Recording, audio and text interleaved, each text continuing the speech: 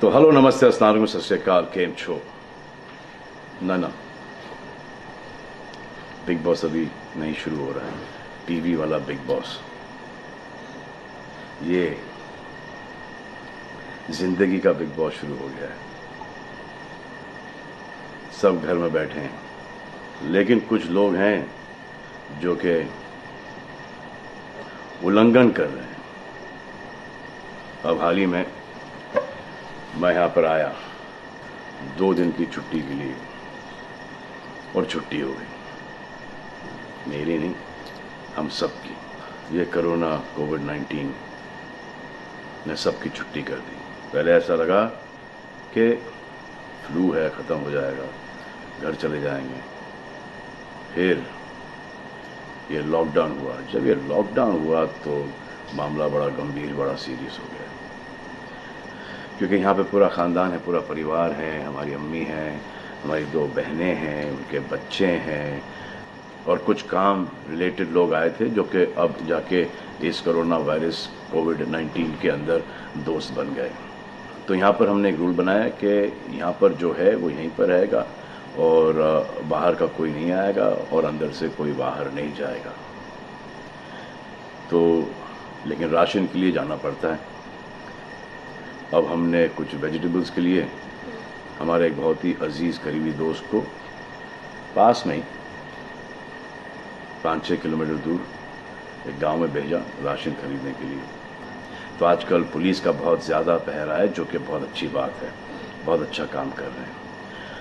अब पास तो था उनके पास गाड़ी का।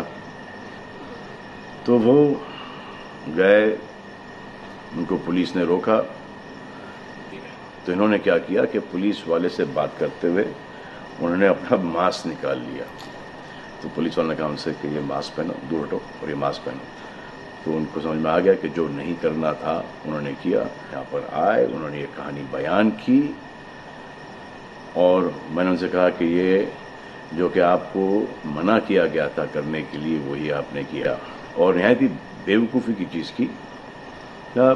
दिमाग से निकल गया सोचा कि बात कर रहा हूँ तो मुँह दिखा के बात करूँ, जो कि नहीं करना चाहिए था उस वक्त। अब जिसको ये बात समझ में नहीं आ रही कि इस को मैं कहाँ लेके जा रहा हूँ, वो मेरी बात गौर से सुने। किसी भी बीमारी में रिज़ल्ट पॉजिटिव होना बहुत दुखदायक बात है, और स्पेशली उस बीमारी का जिसका कोई इलाज नहीं है।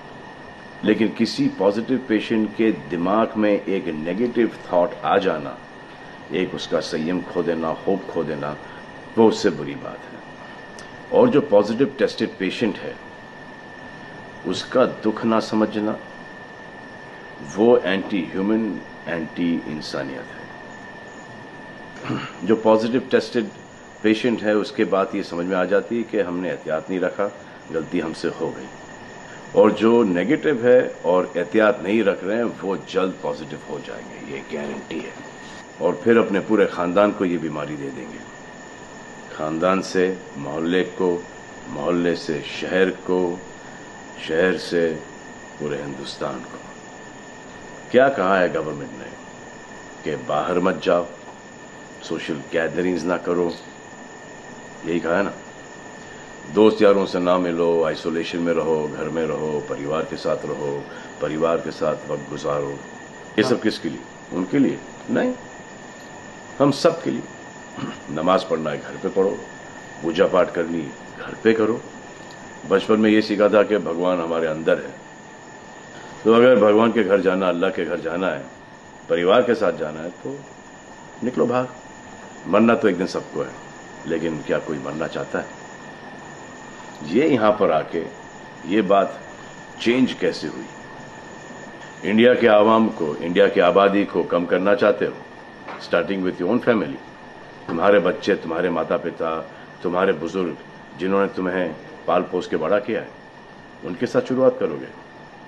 अब आप बताओ, पुलिस का साथ देना गवर्नमेंट का साथ देना डॉक्टर्स का साथ देना, जो लोग बैंकों में काम करते हैं, उनका साथ देना, या नहीं?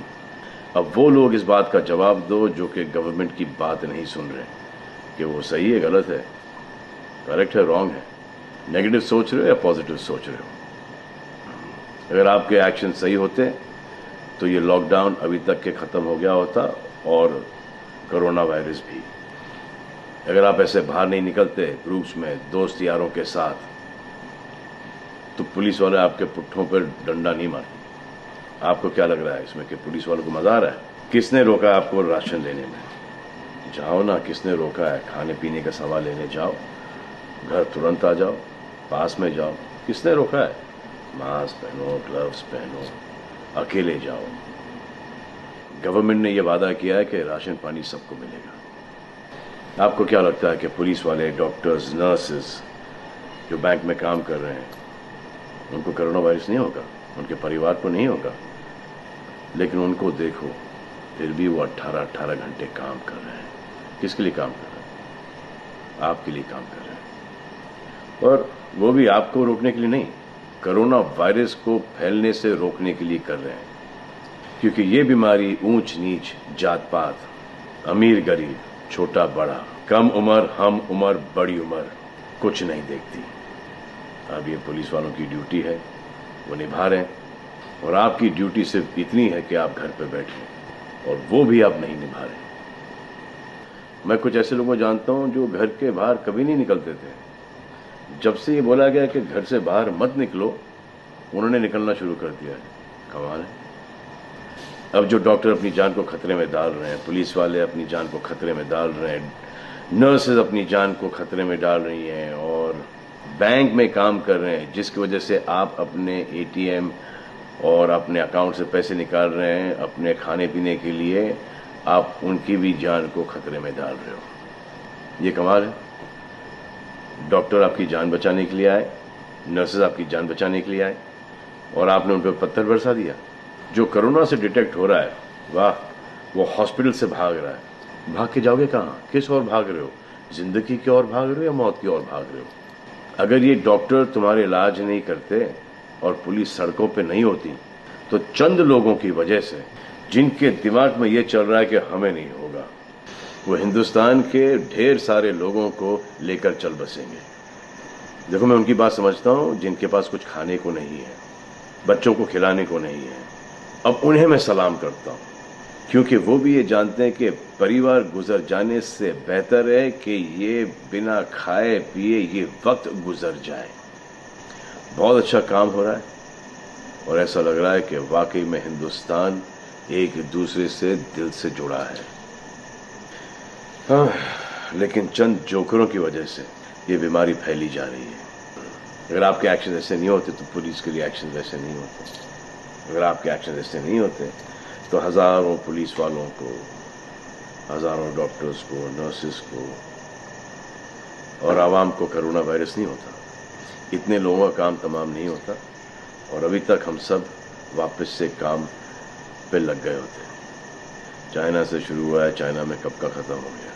लेकिन इन चंद लोगों की वजह से पूरा हिंदुस्तान एक लंबे समय के लिए घर पे बैठेगा। मान लिया बड़े ताकतवर हुआ, बड़े बहादुर हुआ। कितने बहादुर, इतने ताकतवर हुआ आप कि आप अपने परिवार वालों को कांधा दोगे, उनकी अति उठाओगे। इतना जिगर है आपका क्यों आप यमराज और मलिकुल मौत बनना चाहते हो? और क्यों अपने परिवार के लोगों पे इन है और राम नाम सत्य है पढ़ना चाहते हो? हर बात के दो पहलू होते हैं। इसके भी दो ही हैं। एक पहलू यह है कि हम सब रहें, दूसरा पहलू यह है कि कोई ना रहे। आप डिसाइड करो। और सब शुक्रिया अदा करो, पुलिस फोर्स का, डॉक्टर्स का, नर्सिस का जो लोग बैंक में काम करते हैं, उनका रिस्पेक्ट करो, उनको, जिनको हुआ है, और एहतियात रखो कि ये आगे ना फैले। और दुआ करो कि वो नौबत ना आए जहाँ पर आपको समझाने के लिए मिलिट्री बुलाई जाए। धन्यवाद।